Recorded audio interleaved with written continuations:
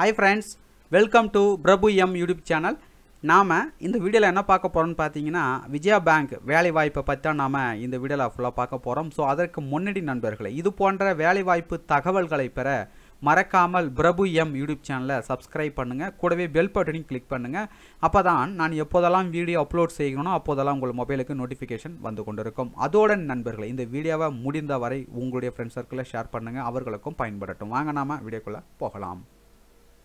So எந்த regional ஆஃபீஸில் வந்து கேட்டிருக்காங்கன்னா சென்னையில் வந்து கேட்டிருக்காங்க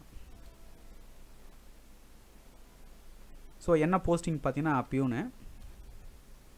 ஸோ என்னிலிருந்து விண்ணப்பிக்கலாம்னு பார்த்தீங்கன்னா ஏழு மூன்று ரெண்டாயிரத்தி பத்தொம்போதுலேருந்து விண்ணப்பிக்கலாம். விண்ணப்பிப்பதற்கான கடைசி தேதி என்னைக்குன்னு பார்த்தீங்கன்னா பதினான்கு மூன்று ரெண்டாயிரத்தி பத்தொம்போது.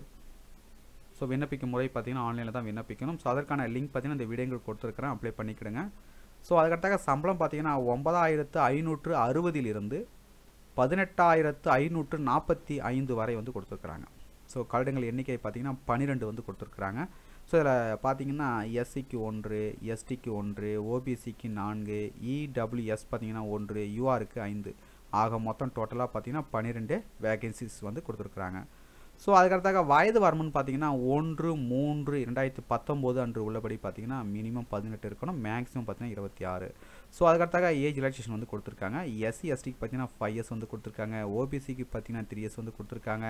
பிடபிள்யூடி கேண்டிடேட்ஸ் பார்த்தீங்கன்னா டென் இயர்ஸ் வந்து கொடுத்துருக்காங்க ஸோ இதில் ஏஜ் ரிலாக்ஸேஷன் வந்து கொடுத்துருக்காங்க. ஸோ பார்த்துங்க ஸோ அதுக்கடுத்தாக இந்த பதவிக்கான கல்வி தகுதின்னு பார்த்தீங்கன்னா பத்தாம் வகுப்பு தேர்ச்சி பெற்றிருக்க வேண்டும் அல்லது அதற்கு இணையான கல்வியில் தேர்ச்சி பெற்றிருக்க வேண்டும். So அதுக்கடுத்தாக knowledge of official language so பார்த்தீங்கன்னா read write and speak official language of the state so அதாவது பார்த்தீங்கன்னா தமிழ் தெரியணும். அதுக்கடுத்தாக இங்கிலீஷ் ஹிந்தி வந்து கொடுத்துருக்காங்க ஸோ அதுக்கடுத்த செலெக்ஷன் ப்ராசஸ்ன்னு பார்த்தீங்கன்னா ரிட்டர்ன் டெஸ்ட் அப்ஜெக்டிவ் டிஸ்கிரிப்டிவ் வந்து கொடுத்துருக்காங்க ஸோ அதுக்கடுத்தாக பார்த்தீங்கன்னா application fee and intimation charges பார்த்தீங்கன்னா SC ST EXSM and PWD candidates பார்த்தீங்கன்னா ஐம்பது ரூபா வந்து கொடுத்துருக்காங்க. ஃபார் அதர்ஸ் பார்த்தீங்கன்னா நூற்று ஐம்பது ரூபா வந்து கொடுத்துருக்காங்க. அதாவது பார்த்தீங்கன்னா யூஆருக்கும் ஓபிசிக்கும் பார்த்தீங்கன்னா நூற்று ஐம்பது ரூபா வந்து கொடுத்துருக்குறாங்க. ஸோ அதுக்கடுத்தாக இதில் கூடுதல் விவரங்கள்லாம் வந்து கொடுத்துருக்குறாங்க. ஸோ படித்து பார்த்துக்கிடுங்க. அதுக்கு அடுத்ததாக பார்த்தீங்கன்னா ரீஜனல் ஆஃபீஸ் கோயம்புத்தூர். ஸோ என்ன போஸ்டிங் பார்த்தீங்கன்னா பியூனு ஸோ என்னிலேருந்து விண்ணப்பிக்கலாம்னு பார்த்தீங்கன்னா ஏழு மூன்று ரெண்டாயிரத்தி பத்தொம்போதுலேருந்து விண்ணப்பிக்கலாம். ஸோ விண்ணப்பிப்பதற்கான கடைசி தேதி என்னைக்குன்னு பார்த்தீங்கன்னா பதினான்கு மூன்று ரெண்டாயிரத்தி பத்தொம்போது. ஸோ விண்ணப்பிக்கும் முறை பார்த்தீங்கன்னா ஆன்லைனில் தான் விண்ணப்பிக்கணும். ஸோ அதற்கான லிங்க் பார்த்தீங்கன்னா இந்த வீடியோங்கள் கொடுத்துருக்கிறேன். அப்ளை பண்ணிக்கிடுங்க. அதுக்கடுத்தாக பார்த்தீங்கன்னா சம்பளம் பார்த்தீங்கன்னா ஒன்பதாயிரத்து ஐநூற்று அறுபதிலிருந்து பதினெட்டாயிரத்து ஐநூற்று நாற்பத்தி ஐந்து வரை வந்து கொடுத்துருக்காங்க. கருடுங்கள் எண்ணிக்கை பார்த்தீங்கன்னா ஒன்பது வந்து கொடுத்துருக்காங்க. ஸோ இதில் பார்த்தீங்கன்னா எஸ்சிக்கு ஒன்று எஸ்டிக்கு ஒன்று ஓபிசிக்கு மூன்று இடபிள்யூஎஸ் பார்த்தீங்கன்னா ஒன்று யூஆருக்கு பார்த்தீங்கன்னா மூன்று வந்து கொடுத்துருக்காங்க. ஆக மொத்தம் பார்த்தீங்கன்னா ஒன்பது காலிடங்கள் வந்து கொடுத்துருக்காங்க. வயது வரம்புன்னு பார்த்தீங்கன்னா ஒன்று மூன்று ரெண்டாயிரத்தி பத்தொம்போது ஆண்டு உள்ளபடி பார்த்தீங்கன்னா மினிமம் பதினெட்டு மேக்ஸிமம் பார்த்தீங்கன்னா இருபத்தி ஆறு. ஸோ அதுக்கடுத்தாக ஏஜ் ரிலாக்ஸேஷன் வந்து கொடுத்துருக்காங்க. எஸ்சி எஸ்டி பார்த்தீங்கன்னா ஃபைவ் இயர்ஸ் வந்து கொடுத்துருக்காங்க. ஓபிசி கேண்டிடேட்ஸ் பார்த்தீங்கன்னா த்ரீ இயர்ஸ் வந்து கொடுத்துருக்காங்க. பிடபிள்யூடி கேண்டிடேட்ஸ் பார்த்தீங்கன்னா டென் இயர்ஸ் வந்து கொடுத்துருக்காங்க. ஸோ இதர ஏஜ் ரிலாக்ஸேஷன் வந்து கொடுத்துருக்காங்க. ஸோ பார்த்துங்க ஸோ இந்த பதவிக்கான கல்வி தகுதின்னு பார்த்தீங்கன்னா பத்தாம் வகுப்பு தேர்ச்சி பெற்றிருக்க வேண்டும். அல்லது அதற்கு இணையான கல்வியில் தேர்ச்சி பெற்றிருக்க வேண்டும். ஸோ அதுக்கடுத்தாக பார்த்தீங்கன்னா knowledge of official language read write and speak official language of the state அதாவது தமிழ் தெரியணும் அதுக்கடுத்தாக இங்கிலீஷ் அது ஹிந்தி வந்து கொடுத்துருக்காங்க செலெக்ஷன் ப்ராசஸ் பார்த்தீங்கன்னா ரிட்டர்ன் டெஸ்ட் அப்ஜெக்டிவ் டிஸ்கிரிப்டிவ் வந்து கொடுத்துருக்காங்க.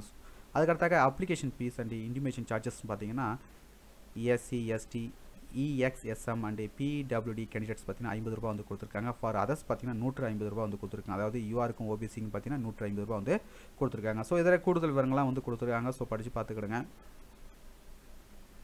ஸோ அதுக்கு அடுத்ததாக பார்த்தீங்கன்னா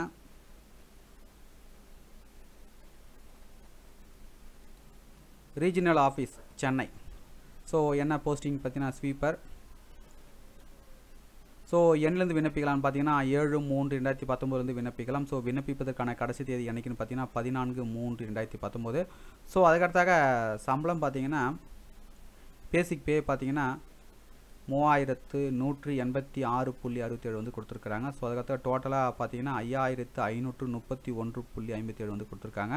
ஸோ கல்லடங்கள் எண்ணிக்கை பார்த்தீங்கன்னா ஐந்து வந்து கொடுத்துருக்குறாங்க. ஸோ இதில் பார்த்தீங்கன்னா ஓபிசிக்கு ஒன்று யூஆருக்கு பார்த்தீங்கன்னா நான்கு வேகன்சி வந்து கொடுத்துருக்காங்க. ஆக மொத்தம் பார்த்தீங்கன்னா ஐந்து வேகன்சிஸ் வந்து கொடுத்துருக்காங்க.